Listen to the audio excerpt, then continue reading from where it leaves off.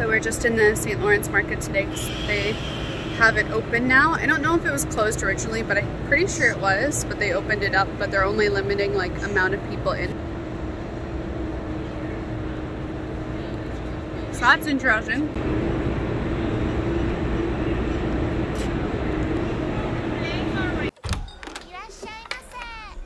So our good food is here which is the three meals for two servings, so like three dinners essentially for two people. I got, I don't even know, sorry guys, I'm just a little tired. Wow, my face is red in weird areas right now.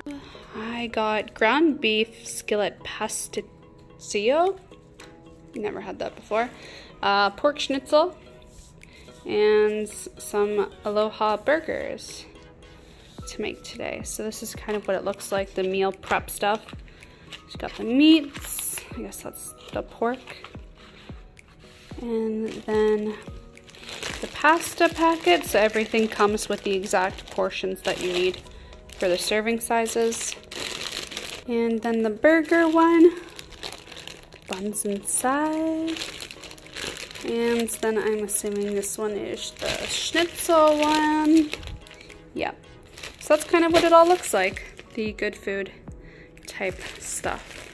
Normally I wouldn't be someone to get these kind of things because I don't really have too much of a problem with meal prepping or not even meal prepping, just coming up with the idea. I think if you're someone that has more so a busy schedule and doesn't have the time to ideate meal ideas and then run out to the grocery store to grab everything, then it makes sense. Like if you get home from work late all the time and you have the income for it, um, then it's reasonable. But the only reason why I'm doing it today is because we got like a $40 discount code in the mail. So I was like, yeah, you know, only $20. Like usually this amount of food would be 60 something, um, but we only had to pay like 21. I think it was like that with the discount that we got, which is pretty cool yeah, so I think tonight I'm going to be making the pasta. I'm honestly not that hungry right now because we just ran out and got some bubble tea um, as a little bit of break. And I listened to your guys' recommendations on cat litter. You guys were saying silica, silica, silica. So I picked up some silica today, which wasn't the easiest way to do it because I've noticed now it's all of the pet stores. It's not just that one pet store.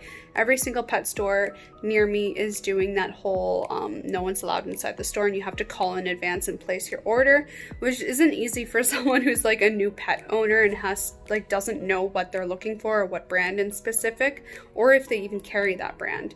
So um, I just kind of was like, I don't know, do you have, like, I had to stand outside, call the store, and ask them if they had a silica cat litter, and they just said, yeah, we have this, this, and this, and I was like, okay, I guess I'll take the smallest one. So I just finished putting it in his litter, so I got rid of all his um, previous litter, the clumping one that was in there, which was actually a corn type of litter, which is what the foster owner gave us. I actually have a whole other huge bag of it, but like I said, the dust was kind of getting to me, especially because he sleeps beside my face at night. And I don't know if he goes to the bathroom at night during night, is he coming back and laying beside my face? Like that's really not a sanitary thing. That kind of grosses me out. So I Lysol wiped his entire litter and I just put it in. One thing I am kind of concerned about is the types of granula granulars, granulas that they are because I've heard that a lot of people's cats don't end up liking the litter because it's hard on their paws. And this one I noticed does have some sharp corners to it so I'm concerned he might not like it but I guess we'll find out if he does if he starts peeing or pooing on the mat outside of his litter which I hope doesn't happen. I hope he doesn't really care about it. He seems pretty curious though. Um, yeah and the pet store I went to only had the one type of litter, which is the crystals, clearly crystals. Um, so yeah, I hope I hope he likes it. Even if he doesn't, I made sure to only get the one, the lowest size, like the three pound one, which is enough for one month. So if he doesn't like it, it's not like I lost a ton of money, but I'm hoping you do.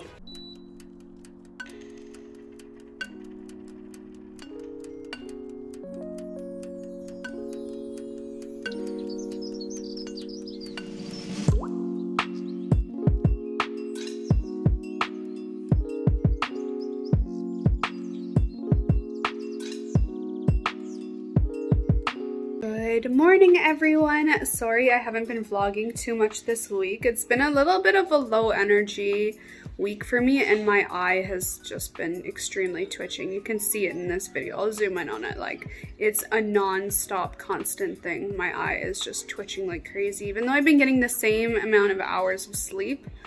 And now my second eye is starting to, I don't know what's wrong with me. Is it stress? Is it fatigue? Even though I've been sleeping normally? Like, I don't really know. But anyway, I just wanted to tune in with you guys because I haven't tuned in much this week just because it's been a really odd energy for me all week. But I recently got a new bed skirt for our bed because the one that we have um, is the original one that came with the bed and um, it's black and it doesn't really, I don't know, like I just wanted everything to match a little bit better. I don't really like dark colors, even you can clearly see the kitchen behind me is dark colors, but we didn't really have a say in that.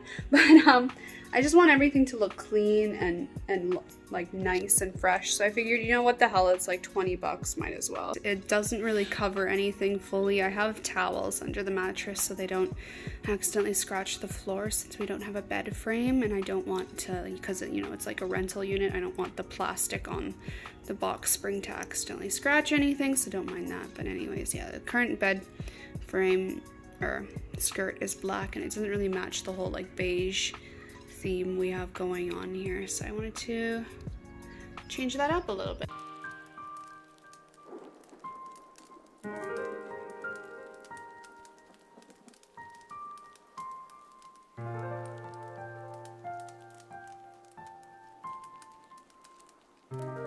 Eucalyptus bed sheets. Do they smell like eucalyptus? No. They already are really soft though.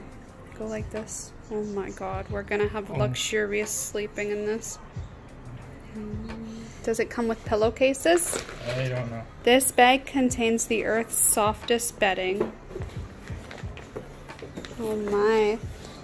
I have never heard of eucalyptus bed sheets before. Only bamboo, but I love eucalyptus. Ooh, gonna wash these and get them on our bed.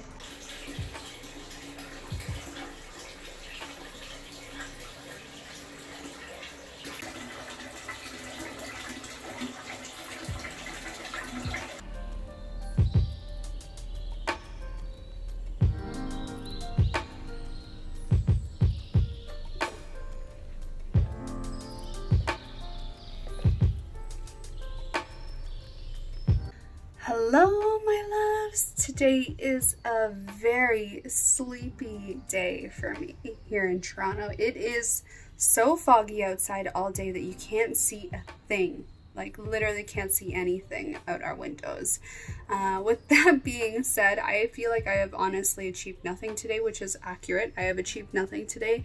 I canceled stream because I just, I knew I would be completely silent the whole time. Like it's just one of those days where you're extremely low energy, it's gloomy, it's rainy, it's foggy outside you're just kind of like brain dead. But anyway, I figured I would share a little bit of a recipe that I haven't shared in a while. It is my salmon gochujang type recipe, like it's Korean flavor inspired. It's basically like sweet salmon with a bit of spicy sauce on it. Uh, so I'm going to share that with you guys today. Literally, this is the view that we have today. You can't see a thing.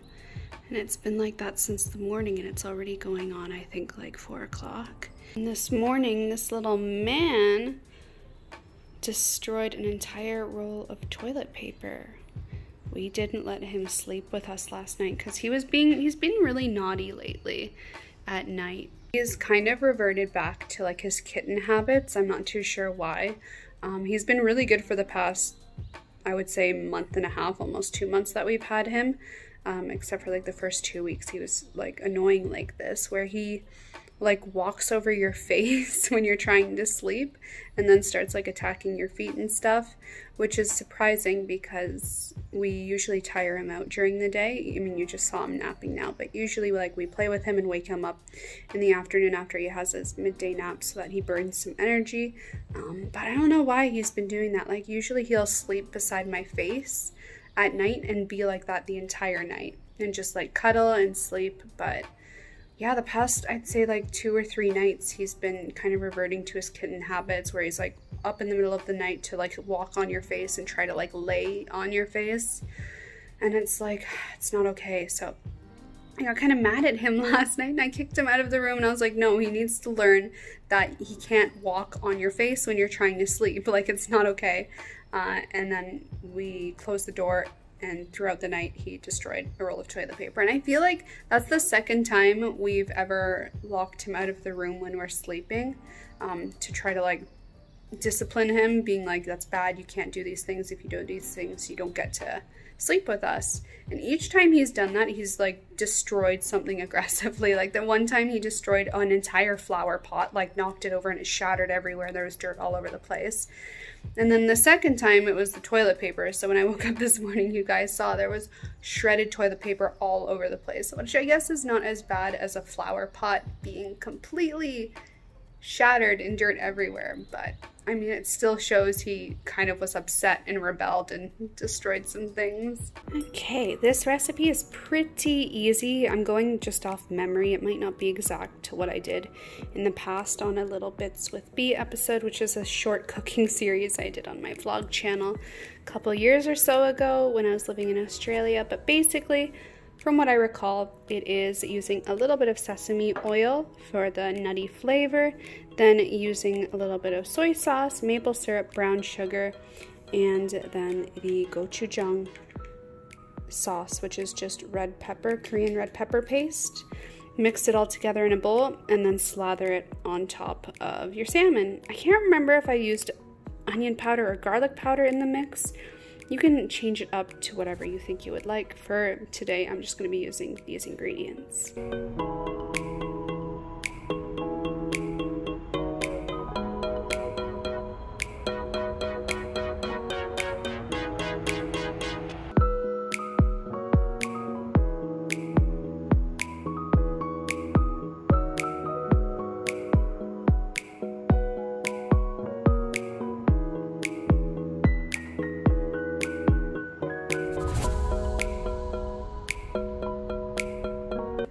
So I have my salmon fillet on a baking sheet that has a little bit of olive oil just around the fish and then just taking the sauce that we mixed up. You can put as much as you want on. I feel like with the amount of dilution that you do with the soy sauce, maple, and the sesame oil, it doesn't end up being that spicy. Like I remember I first came up with this recipe idea for my family because I wanted them to experience Korean flavors after I moved back to Canada from living in Korea for a bit. But I wanted to like introduce them to it in a more gentle way because if you're not familiar with Korean recipes, they can be quite, quite intense. So just kind of cover it up nicely. And then I'm gonna bake it in the oven at 450 until it looks like it's cooked. I never really know how long I bake things for. It's probably going to be around 15 minutes, my guess. But yeah, I'm going to pop that in and eat it when it's done with some rice and veggie.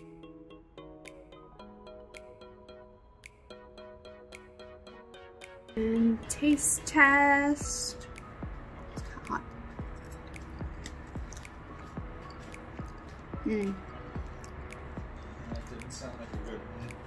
I was expecting it to be sweeter. Not too sweet.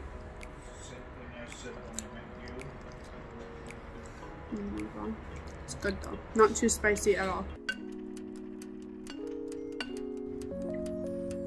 Hey guys, so I haven't done a, much vlogging at all the past little while and that's because not much has been going on, honestly. I've just been self-isolating, cooking every single day, streaming and editing videos and making content for Instagram. And that's kind of been my focus. But just so you know, right now I'm using my Klairs uh, Supple Moist Preparation Facial Toner in the unscented formula, putting like a generous amount on my face. anyway, I wanted to tune in with you guys because I feel like I haven't just like, oh, someone wants it.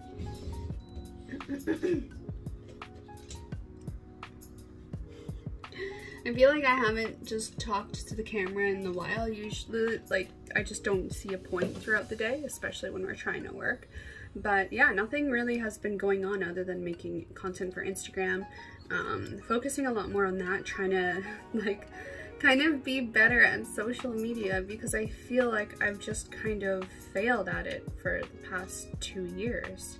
I'm gonna be going in with my By Wish Trends polyphenol and propolis 15 serum. It's really good for people with dry skin. But yeah, I just feel like I've kind of failed a bit with you in social media. And there's good reason for it. Like I was focusing on like actual career level stuff outside, like offline in IRL and not as an influencer. And with that, of course, my social media kind of suffers, which is to be expected. Like if my time is mostly being committed towards that, then I'm not gonna have time to film videos, which can be a full day process. So it's nice having that moment now. This is the Innisfree Intensive Hydrating Serum, Green Tea Serum. I'm using two full pumps of that. But yeah, so I'm happy that I'm back at it and you may have noticed if you're still tuned into my YouTube channels, which I'm really appreciative about, especially because we recently just hit 60k on my my main beauty channel, which I've had for like probably nine years now, which is sad. Like a lot of people would see being at 60k in nine years as a pretty depressing number. but there's also the fact I haven't actively been working on it consistently through those nine years. I think it's only been past five years now, going on five years where I've actually actively been consistent with it. Um, so we recently hit 60k there and it just kind of goes to show that my efforts in the past month have paid off because I've really been working hard to reconnect with you guys and um, you know get to know you again all over again and also coming out with new content that's actually more relevant than what my channel started with over those years. I'm to be going in with the Ren Skincare Evercalm Overnight Recovery Balm and just taking like a pea-sized amount of that. It's like a literally a balm, not a cream whatsoever really amazing if you have super dry sensitive skin or aging skin as well. If you're more combination normal to oily, you might find this a little too heavy. That's also why I only use a little bit. So yeah, hitting 60k means a lot to me because my channel has been stuck at in the 50k range for the past three years, I want to say. Like I've been, it's been three years I've been stuck at 50k and to, you know, have my efforts in the past month really pay off. And having like all you new people join in, maybe not on this channel, my vlogging channel, but having all of you come in is just giving me a, I guess, hope. And it reminds me that like, you know, I'm doing something right and not really to give up and I'm so grateful too because a lot of you guys have been consistent viewers of my channel over those five years and it's amazing how fast time flies. Like it's absolutely outstanding how quickly time flies by. So taking my Jeju Aloe 99% gel from the Face Shop. I use this as a sleeping mask and taking a really generous amount just all over my skin to thank everyone who stuck around with me for so long through, the hard times and the good times throughout my life. So yeah, I just wanted to tune in and do a little bit of a quick evening skincare routine with you guys and also just share like my thoughts about that. So yeah, nothing really has been going on in self-isolation the past two weeks other than grocery shopping, me cooking, me working on my live streams. So I do that for about two hours every morning and then after that I make lunch for me and my boyfriend and then after that I start editing any content that I need to do, kind of ideating any content that I want to come out with for my Instagram and then also editing any videos that are due to come out because I'm trying to do the once a week on my beauty channel if not twice a week and then once a week with the weekly vlogs on here for you guys and to keep updated. So yeah thank you guys so much and uh, tune back in later or if not thank you guys so much for watching this weekly vlog. Sorry there's not too much going on